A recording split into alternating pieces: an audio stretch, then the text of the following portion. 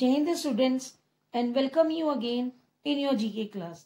Today we are going to start our chapter that is in ancient times. Page number 70.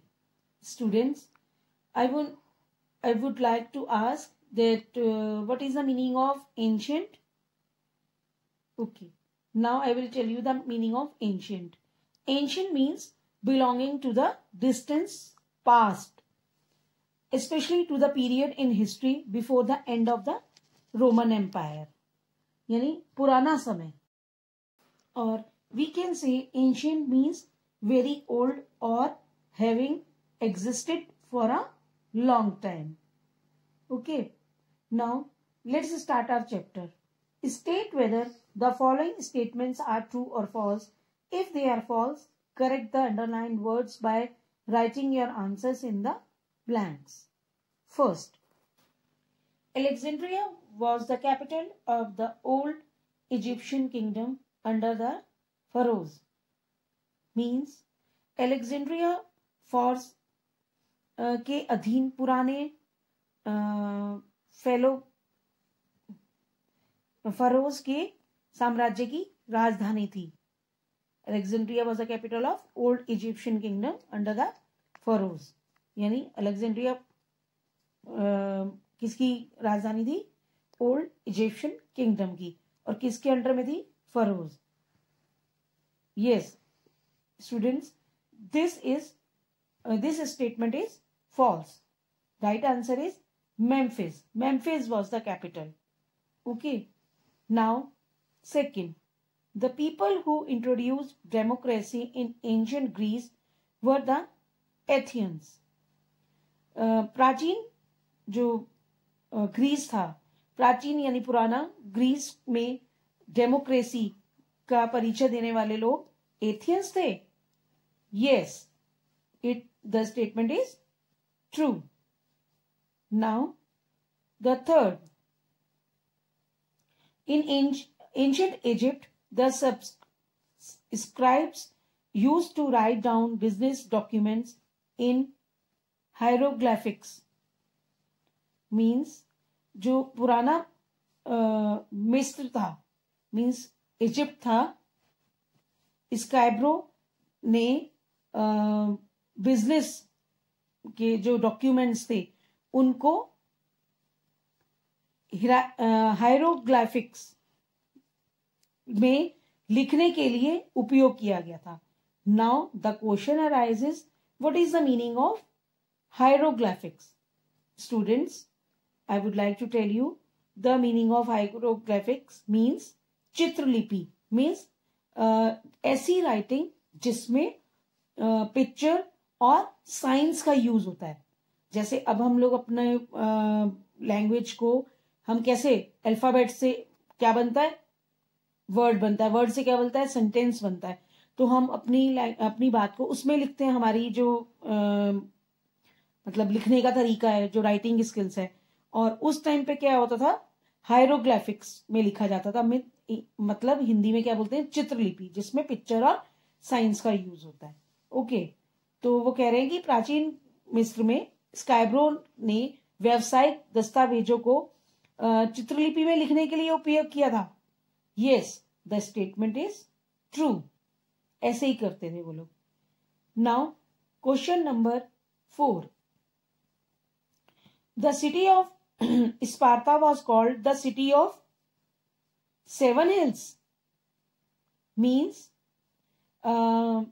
Sparta शहर को सात पहाड़ियों का शहर कहा जाता था the city of Sparta was called the city of seven hills yes the statement is false right answer is rome was the called the city of seven hills not sparta answer is rome Now, question number 5.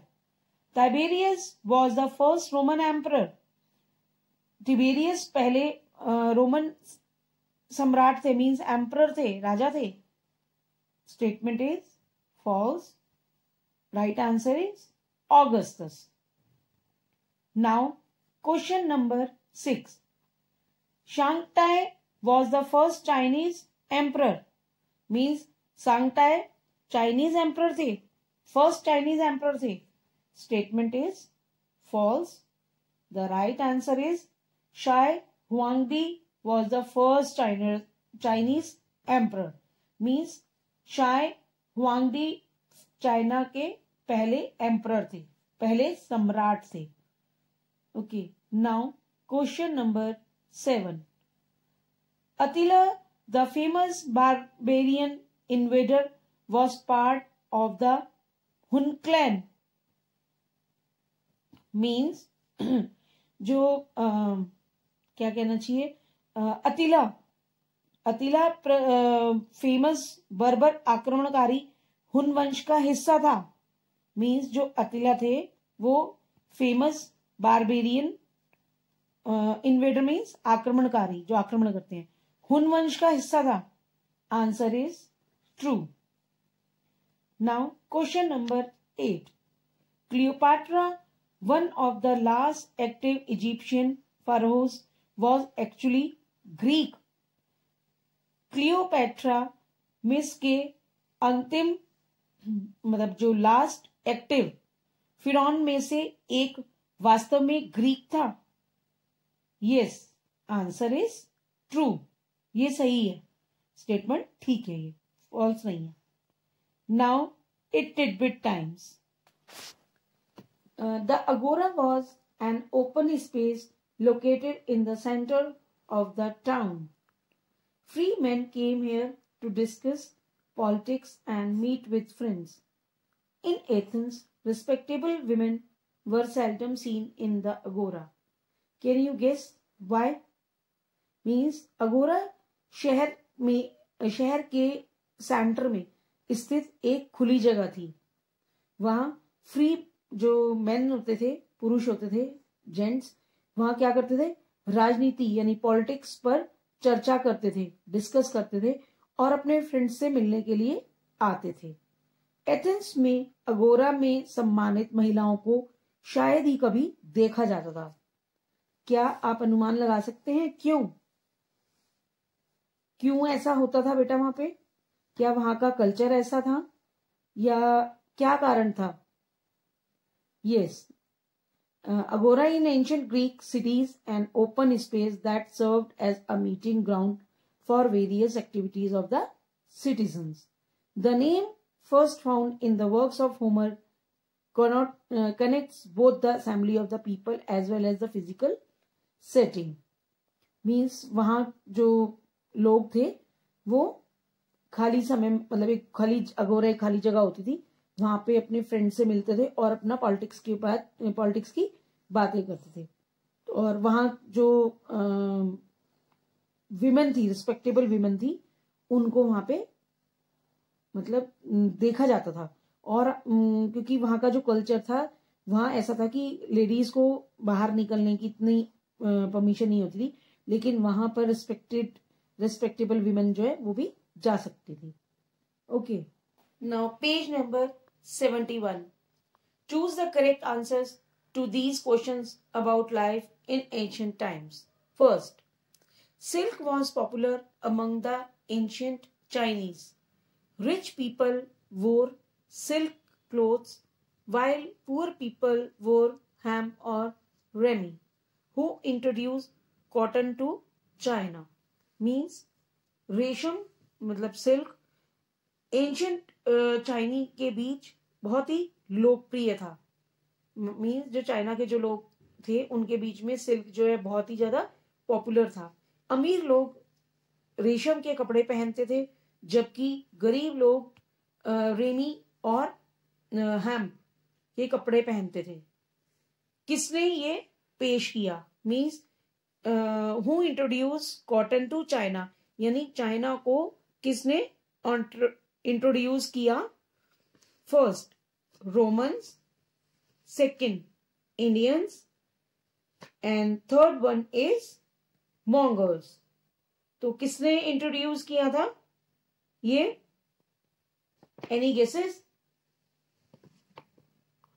Yes first का answer जो है वो है सी means मोंगोल्स मोंगोल्स ने introduce किया था cotton China के लिए। Now second during the reign of which dynasty was paper money introduce to China means China में चीन में किस वंश के शासनकाल में धन की शुरुआत की गई थी?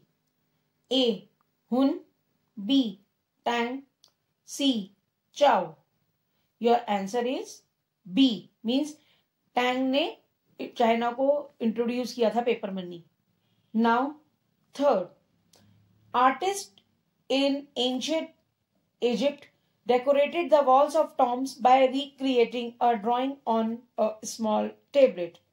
By which method would they transfer the drawing onto the wall? Means uh, प्राचीन मीन्स एंशियंट Egypt के कब्रों में कलाकार, कलाकारों ने एक छोटी गोली पर ड्राइंग बनाई मीन्स स्मॉल टैबलेट पर एक ड्राइंग क्रिएट करी मींस बनाई। किस विधि से वे ड्राइंग को दीवार पर ट्रांसफ़र करते थे? A paint by number system B air brush system और सी ग्रिड सिस्टम किससे करते थे? ग्रिड सिस्टम से। Okay now fourth a number of important inventions were made in early and medieval China Which of the following was not invented in ancient China? Means, शुरुआती और जो medieval China थी, मध्य युग का जो चाइना में China का टाइम था, उसमें कई महत्वपूर्ण आविष्कार किए गए थे निम्नलिखित में से कौन प्राचीन चीन में आविष्कार नहीं किया गया था। मीन्स ऐसी आ, कौन सा जो इन्वेंशन है वो एंशियंट चाइना में नहीं किया गया था। Options are A magnetic compass B gun powder and C spinning wheel yes your answer is spinning wheel now fifth the Egyptians had a mother goddess who was also the goddess of nature and magic. Who was she? Means, मिस्रवादियों की एक माँ देवी थी, जो प्रकृति means nature और magic means जादू की देवी भी थी। वह कौन थी? Who was she A Bastet B Isis C Iris answer is B Isis six which of the following was a popular board game in ancient Egypt means निम्नलिखित में से कौन एक लोकप्रिय बोर्ड मिस का था?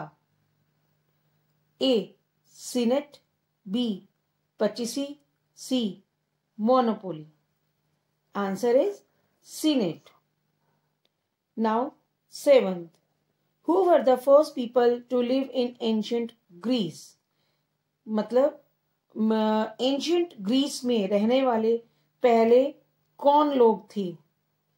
A Mycenaeans B Minoans C Incas A Mycenaeans B Minoans and C Incas yes, answer is b1 minoans now it tidbit times The earliest kingdom in ancient Egypt is known as the Old Kingdom.